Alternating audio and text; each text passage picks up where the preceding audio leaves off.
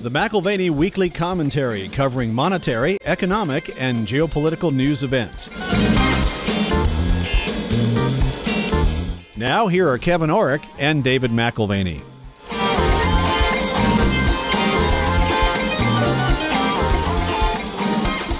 Welcome to the McAlvany Weekly Commentary. I'm Kevin Orrick along with David McAlvany. David, you're just getting back from New Orleans. This is a conference of all the conferences of the year that you probably feel the most at home at because it goes back decades with your family.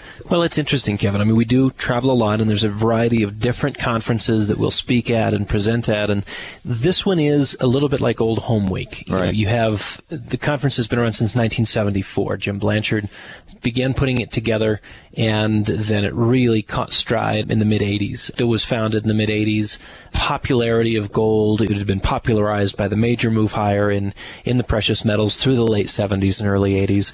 And uh, it was really a gathering place. Well, for the old patriarchs, what we would call the true dyed in the wool gold bugs back from the 1970s. I mean, Jim Blanchard was one of them. Your dad, Don McAlvany, Ian McAvity, is another one. I mean, these are guys who were there for the ideal, not necessarily for the bull market. Kevin, my dad called Jim Blanchard on the phone one day. This is again early 70s, and he said, "Jim, we've got to do something about this." Keep in mind the context is it's illegal to own gold in sure, the United gold States. had been confiscated. It had been illegal since 1933. So 1973, 1974 rolls around, and they're trying to break the gridlock. And so they arranged to have Howard Segermark write up legislation and begin the lobbying proposal. He put it in front of uh, Jesse Helms. Yeah, that was Jesse later Helms given to Jesse Helms, who pushed it through, didn't he? pushed it through. Yeah. And January 1st, 1975, gold was made legal again here in the United States. Bullion gold and bullion coin gold. Collectibles had been legal, but you couldn't own actual bars of gold or bullion coins. Exactly. So really what you're looking at with a conference like this, Kevin, is it is still the watering hole of the folks who were there when it was philosophically bent and you were looking at the issues of government, of power, of politics, of fiscal responsibility at a very deep philosophical level and trying to come up with a solution to that. Well, David, just a couple of days ago, you were actually in a room there at the conference and got some time with Ian McAvity. And it's always a great conversation because this is one of those men who really don't care whether gold goes up or down. He knows what it does as far as preservation and equalizing a monetary system. And that's why he does what he does every day. Kevin, just two words because before we start the interview, everyone should know that one of the best newsletters that they could subscribe to that includes both technical analysis and fundamental analysis is Ian McAvity's Deliberations on World Events. And, decades and decades of experience. Yeah, it's a fantastic crystallization. You get to see in real time and benefit from the long experience, decades and decades in the marketplace. Ian McAvity is, is one of the founders of the Central Fund of Canada. What started as a few million and then became a few hundred million What and is is now? now Seven billion Yes, dollars? Exactly. Yeah. There's CEF and GTU, which are both gold and silver funds up in Canada. And you know, so he, he keeps his finger on the pulse of these issues with a larger responsibility in mind, still advising in that capacity with CEF, with the Central Fund. He's very thoughtful, very forward looking. And we'd like to know what he sees and thinks when he looks at world events today. Well, let's go to that recording right now. Well, there's a lot of things to talk about. Yeah. And trying to wrap your mind around where we're going from here. In the U.S., there's been sort of a political divide between what was the Hamiltonian model versus sort of the Jeffersonian model. Centralization on the one hand, or something that was, you know, sort of prized the individual. And it appears to us that it's certainly moving more towards the Hamiltonian model. In Europe, you see the same thing. You would think that as Europe begins to unwind to some degree, that people would say, well, maybe we got to look at this differently. And in fact, you know, if you're looking at Germany as a test case, the SDP and the Green Party are, are gaining traction. The slowdown in the economy in Germany, they're blaming that on Merkel, but they're not seeing that anything is, is wrong with the system as it's progressing towards sort of a, a new and larger Leviathan. Where do you see this going? I mean, as, as you reflect, are you are you happy? Are you sad? Are you a few more scotches, and maybe you can go back and forth between one or the other. The thing that strikes me is when I, every once in a while, whenever the question of you know raising taxes comes up in the United States, they're very quick to boast that you know 50% of the population is no longer on the tax rolls. And my reaction is if more than half of the people are living out of other people's pockets, have, we, have they now created a dependency on the state that can never be undone? That's my largest fear. Basically, people are now servants of the state, which is the exact opposite of uh, the concept that I was brought up to believe in. And I've just watched it, you know, watched them chip away at it over time. And you know, I'm not a big sort of economic theorist in that sense, but the you know the idea, the Austrian economics idea that somehow the little guy at the bottom walking on the sidewalk is the most important part of the chain. Sort of, you know, in a sense, he's it's very much like the Swiss political model, you know, where the mayor is more important than the than the president of the country and that's my preference. But with the mature economies, uh, I, I, think the political process has become so corrupted. I fear the accident that could lead to change. And if the change does occur, which way does it go? Because it's either going to go way off to the left or way off to the right, however you define them. Is it too simplistic to say that is one of the drivers in the metals markets today, where people are saying we don't we don't know what's happening. We don't know what's happening with taxes. We don't know what's happening in politics. We've got half of the G20 being replaced in 2012. Mm-hmm. Yeah. And so, what does the complexion of world politics look like next year? Is it more combative? Is everyone trying in a more concerted way to get along? Yeah. Basically, I refer to the G20 as the G13 versus the G7 you know, and you know, being a Canadian, uh, in essence, uh, you know, the Canadians are there largely just as a balancing mechanism. We've got no real business being in the G7 other than the fact that if Europe was going to expand its membership to please the Spanish and the Italians, then the Americans had to have have a neighbor in as well. But the new wealth is essentially in the so-called BRICS, you know, Brazil, Russia, India, China I don't really include Russia too much because Russia never had a, any history of mercantilism, so you know I, I just don't trust any part of the Russian system. But China, Brazil, and India have undergone an industrial revolution in a generation. In 10 or 15 years, they've now accumulated something like $6 trillion worth of foreign reserves, and they're looking at the old boys club depreciating the value of that paper about as quickly as they can. I'm waiting for the showdown, you know, where basically the new boys uh, explain to the old boys that their time has come. And from an investor point of view, you know, while the elephants are dancing, the smart mouse gets off the dance floor and hides. And basically, my premise, the, the line that I use for gold, every time someone says, How high is gold going to go?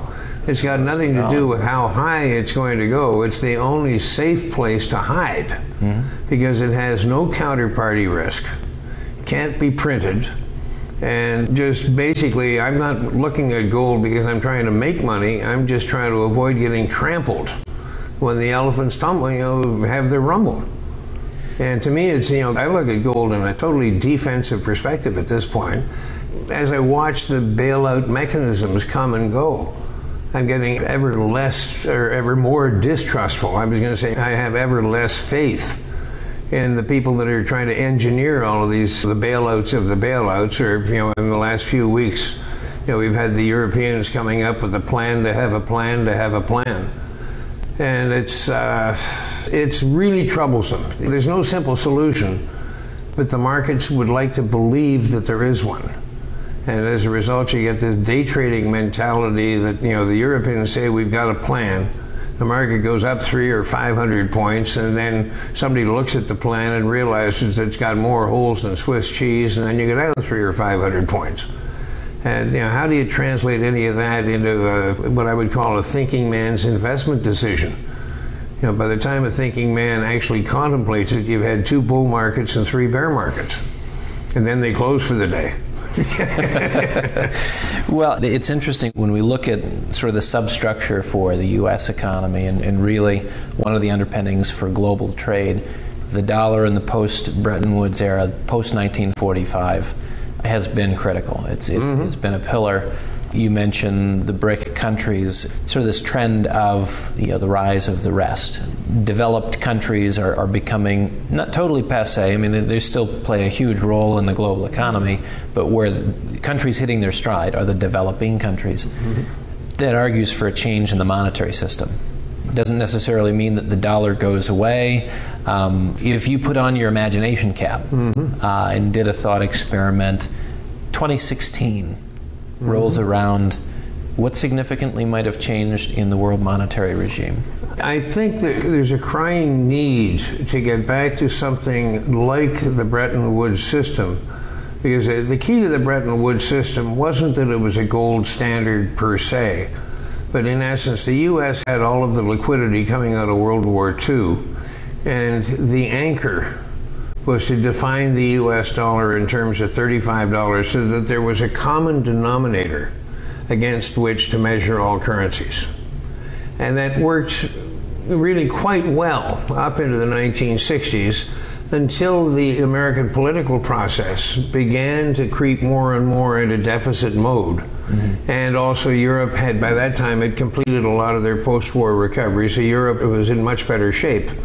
And you started to build imbalances. And of course, the ultimate, to me, the two signal points that changed the equation was the Johnson speech on April 1, 1968, that we can have guns and butter, which was sort of formally announced to the world we're going to depreciate the dollar.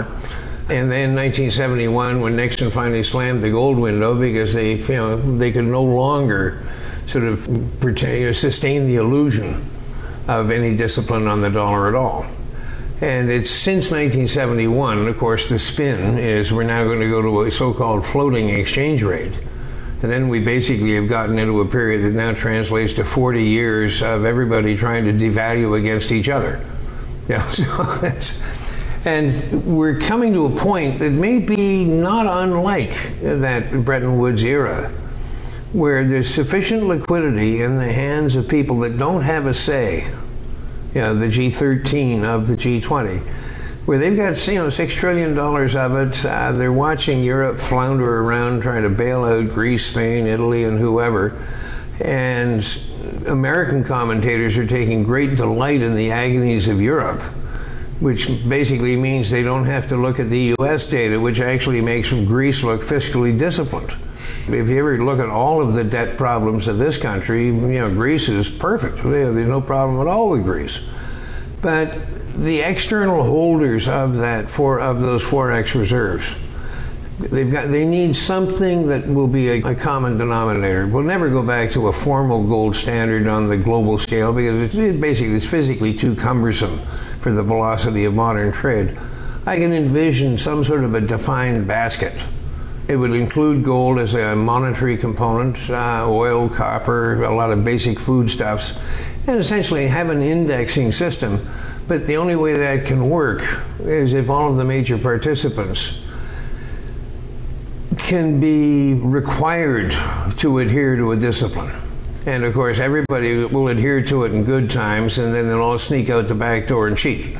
Does, does the commodity component, you know, whether it is oil, wheat, copper, gold, yeah. does that imply some sort of price fixing? That's what added stability to the 1944 yeah. agreement.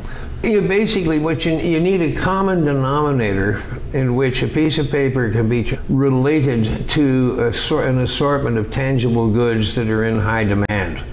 Yeah, I would say a combination of high demand and internationally diverse supply. When I was talking about this idea with one guy, he was saying, well, you know, we can get platinum in there too. And I said, no, you won't get platinum in there because there are too few producers. It's much too small a market. You know, it's got to be something like copper, like gold, like silver to a lesser degree, because it's produced all over the place and it's consumed all over the place. You don't want a commodity that's produced in South Africa and Russia. Well, then the currency components within that basket, you're really talking about something that is more or less trade weighted. Yeah. The dollar is still probably mm-hmm. the dominant currency in the basket. The dollar would still be important, and to me, it's the salvation that they should. I wish they had built some structure like that into the euro when they first proposed the euro. I gave a speech in Ireland in 1992 in Dublin Castle when they had just announced the contest to name the new currency for Europe. And I said, Well, hearing of this contest, there's only one name that really works the Frankenstein because it's going to be run by the French and the Germans no matter what committee structure you put in place. And I said, unfortunately, the way it's being proposed is it's a currency that's designed to blow up in the first crisis. Because, in a sense, you're creating a currency that doesn't have central bank discipline. It's got the European Central Bank, but each member has his own central bank, and you've got 17 or 27 political bodies that you have to deal with. And in some respects, that's encouraging in the sense that I don't really like central banks that much. But unfortunately, the ECB doesn't have enough power geopolitically. That, uh, you know, so that at the end of the day, in a real crisis, you know, can you picture a Brit, a Frenchman, a German, an Italian, and a Spaniard agreeing on the time of day of the meeting that will be held to resolve the crisis? You know, that'll be the first three days of negotiations. yeah, I think that they will the euro will end up surviving in part because everybody needs it, not just Europe. But everybody needs essentially a, a quasi legitimate counterparty to the U.S. dollar, and that's you know, really the balancing. And that's what it is. And mm-hmm. basically, it's it's supported by a large enough economy, large enough GDP, international trade, and the rest of it. It's got the structure in place to be a valid currency. It's, unfortunately, it's a valid currency that doesn't quite have the disciplines we'd like to see. But on the other side of the coin, if you look at what Mr. Bernanke and Geithner are doing to the U.S. dollar, where allegedly it does have all the disciplines, I, I think I respect the Greeks more. In a sense, the world needs competing currencies of that kind of stature. Uh, when Japan went through its great growth phase, they took great steps to not have the yen become an international currency. And the yen did become international, but it was all what we used to call euro yen, i.e., yen transactions denominated outside of Japan. So, you know, a Swiss bank and a British bank could create a yen obligation. You know, one's long, one's short, and now you've got a piece of yen paper. That's what used to be called a euro transaction before they co opted the name for the currency. And China will do the same. There's no way that China wants their currency floating outside of their control. It may be great for the American ego to be called the reserve currency of the world. But the minute you're in that status, you're subjected to an awful lot of external pressures over which you have no control. Isn't it sort of implicit in the Bretton Woods system that we will run deficit? It seems like that is. A- uh, it wasn't at the time. The whole point of the $35 peg is when, if American numbers get too far out of control, we will take all of our dollars and we will arrive at the New York Fed and say, here's all your paper, we'll take all the equivalent gold at $35 an ounce. And what led to 1971 was a combination of the French and the Swiss arriving with a wheelbarrow with too much paper. Right. Well, the idea of covering our external liabilities, you know, 35 was chosen to cover our external liabilities back in 1933. And our stock of gold today, if we covered our external liabilities, would have to be north of $17,000 an ounce.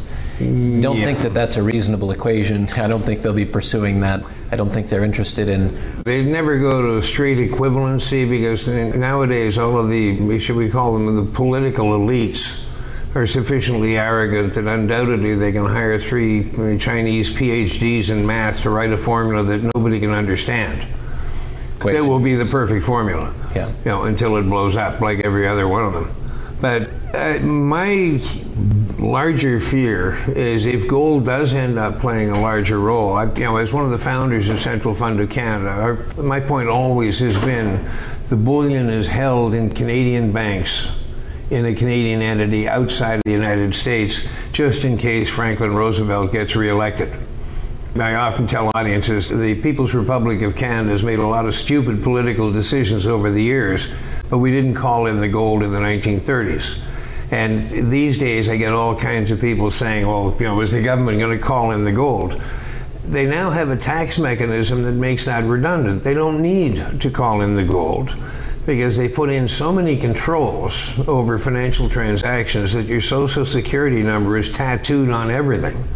And they could declare a 100% excess profits tax You know, this over is, a deemed amount of gold, and that's the equivalent of calling your gold. This has exactly been my concern. Yeah, and that's that- my big, that's been my fear for change the tax years. regime, and that's it. Whether it's jumping it from 28%, which it is now, to 50%. Yeah. You know, we may see gold at three, Yeah. four, five thousand, or some other. Exactly. But doesn't mean you get to keep the profits. So. Well, and that's that's always been one of the arguments for international diversification, and not just for Americans, but for citizens of any country.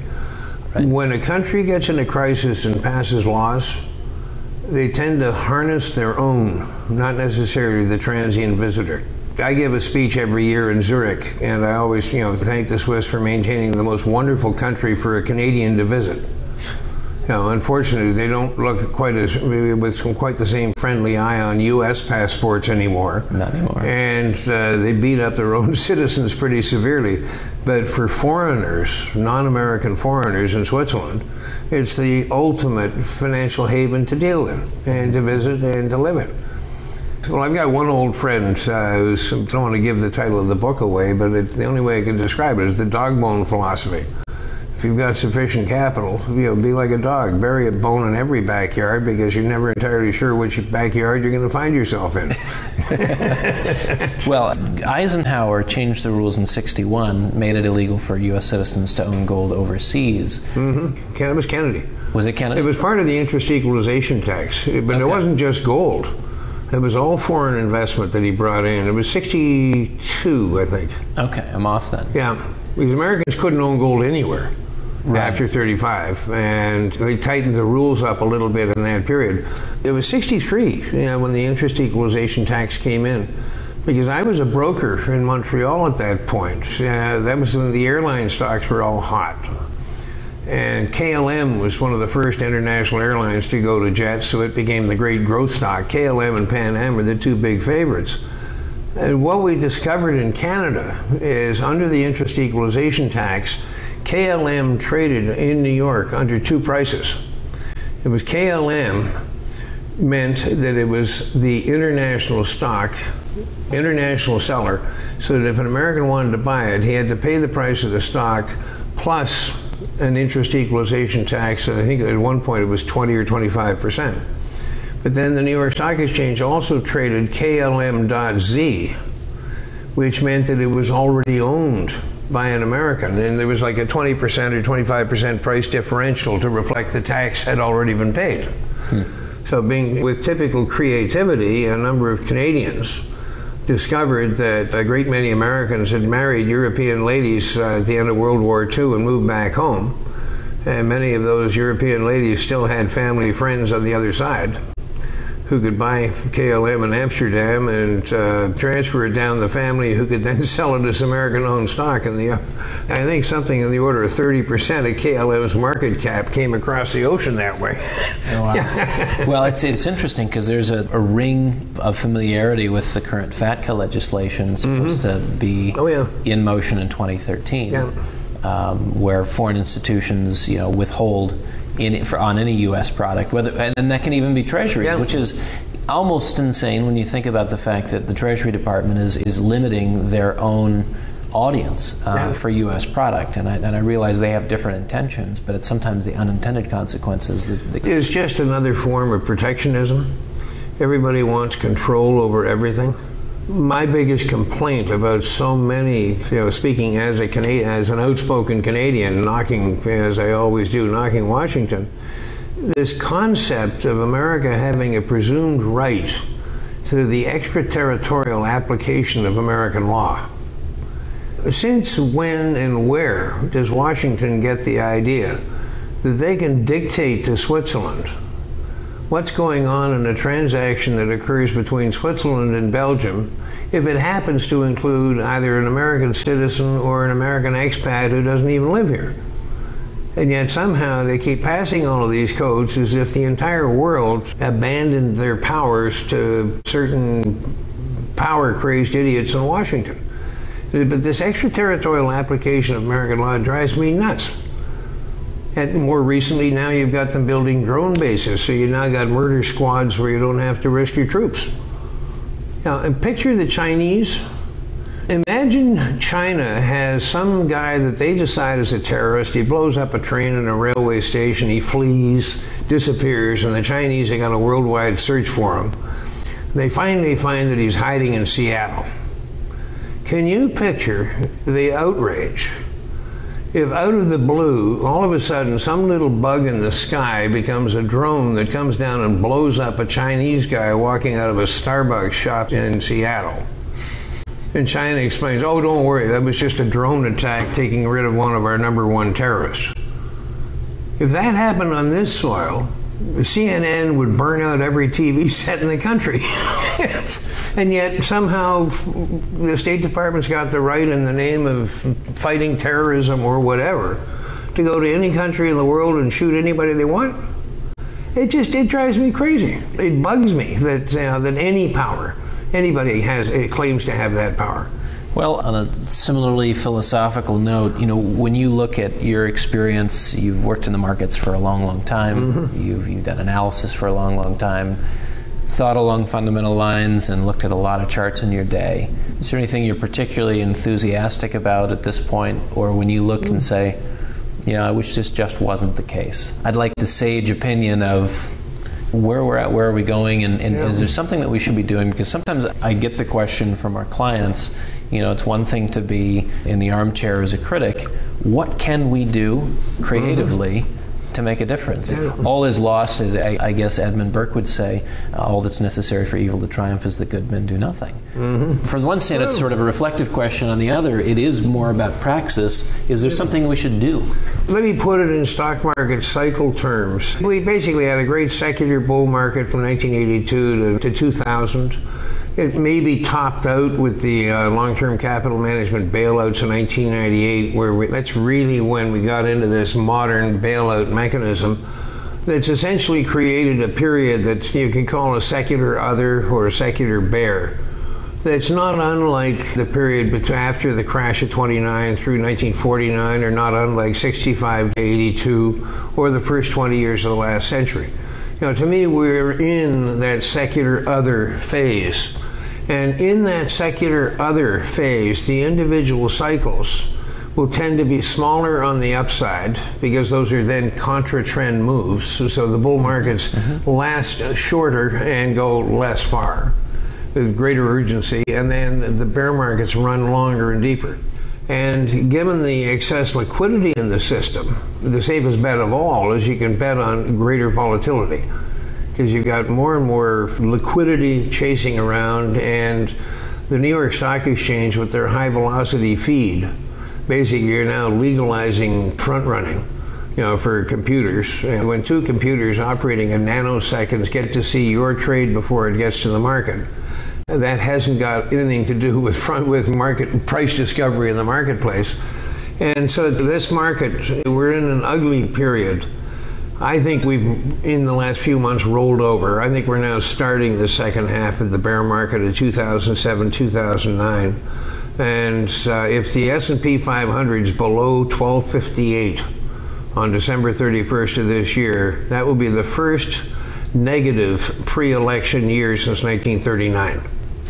And I think 2012 is going to be a down year for the election year. You know, what's Obama got to run on in the race? other than the fact that the Republican leadership race looks as though it's being organized by the Democrat National Committee, trying to determine who would Obama most like to run against. The political process is almost as corrupted as, as Washington is. But I think the stock market generally is going down. And one of the best calls, I'm not known as a stock picker per se, one of the best calls I've probably made this year the New York Gold Show in a closing panel. For the very last question, there was sort of a curveball that was thrown at us tell people what's the best single buy that they can make for the next 12 months. And fortunately, I had just learned that they had started trading some ETFs that were measuring volatility. And I said, well, the only surefire double I can see is volatility is going to go up.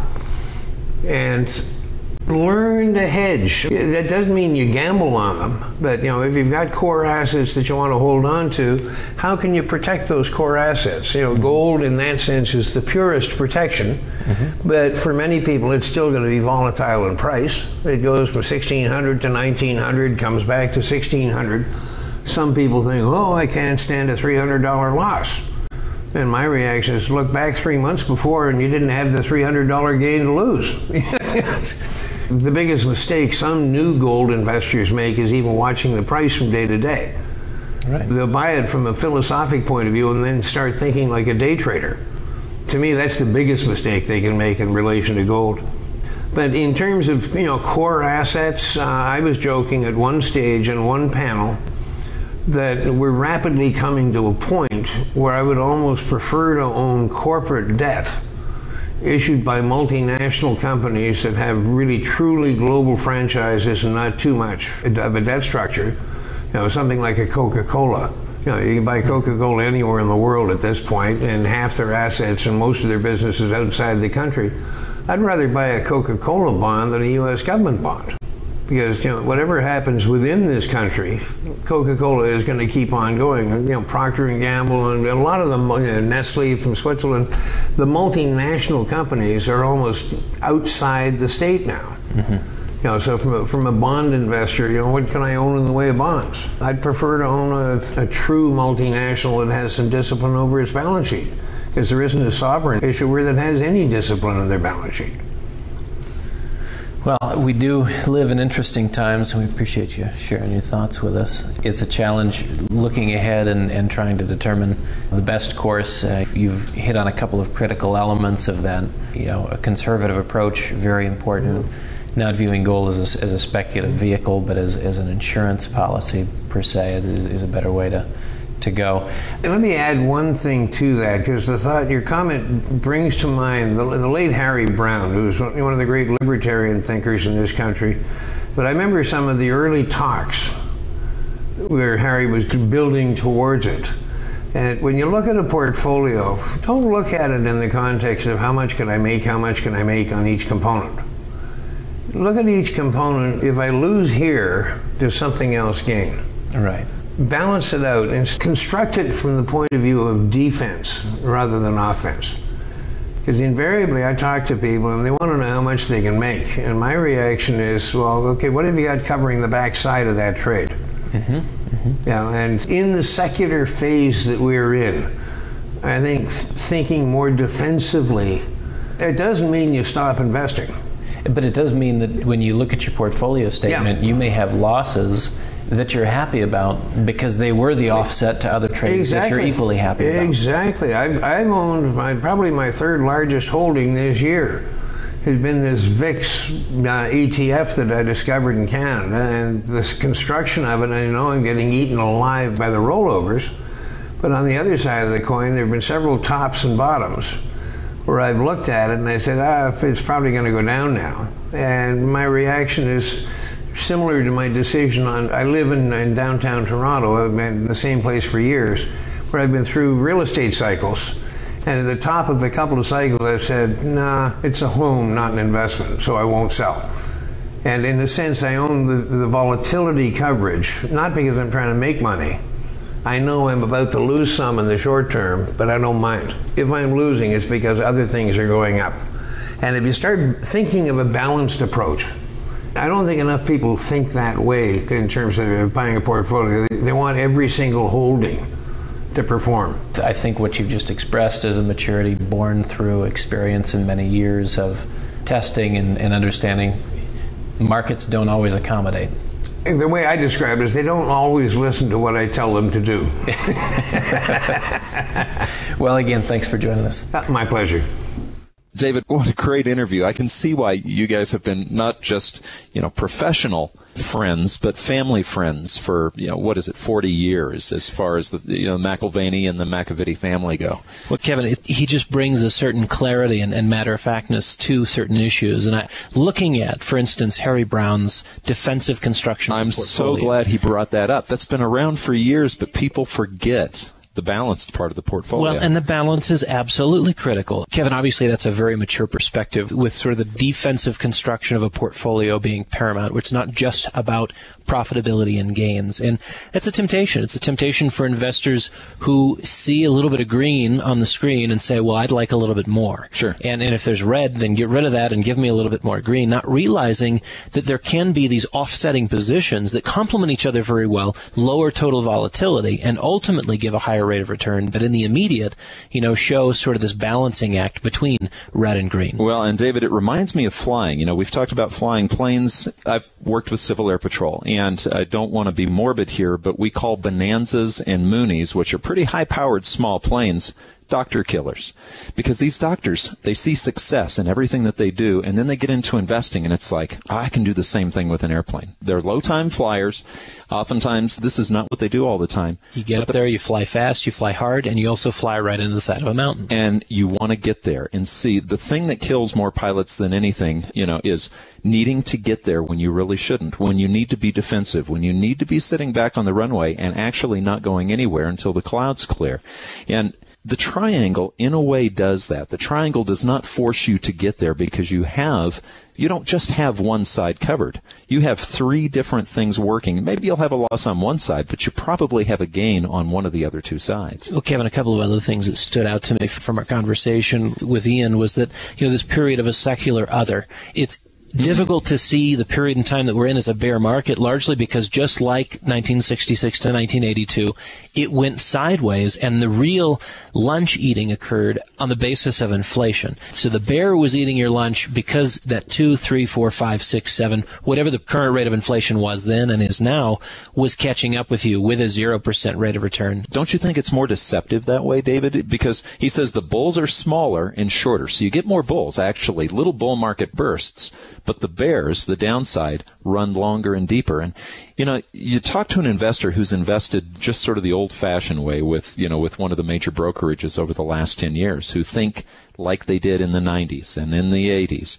These people have just a confused look on their face because every time they think they're just about to make money, they lose a little bit more, but it takes so long that they've let 10 years pass and they're like, oh my gosh, it really is not only the lost decade, but I've lost all this decade. Well, the last thing that stood out to me, Kevin, was was the dog bone philosophy. You know, where right. we just pragmatically say you don't know what yard you're going to end up in, and, and better to have a bone in each yard. Bury a bone in Switzerland, bury a bone in Canada. That makes sense to me, Kevin. That makes sense from the standpoint not as a, an American, but as an anyone. Right. You know, wherever you live, looking at your jurisdiction differently with a greater historical perspective, and insight into the nature of desperate governments. You know, harnessing the power of your own. That's an interesting concept when you realize that that's the easiest go to before you start spending ammunition to harness the power of another. Well, David, this is a great time for you to get together with people who have been in the industry for a long time. Next week, maybe we can even listen to the interview with the Aden sisters. That's right. We got a chance to visit with both of them while we were in New Orleans, and uh, that was also a very fruitful conversation.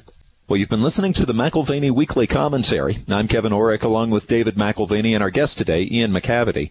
You can find us at McAlvany.com. That's M-C-A-L-V-A-N-Y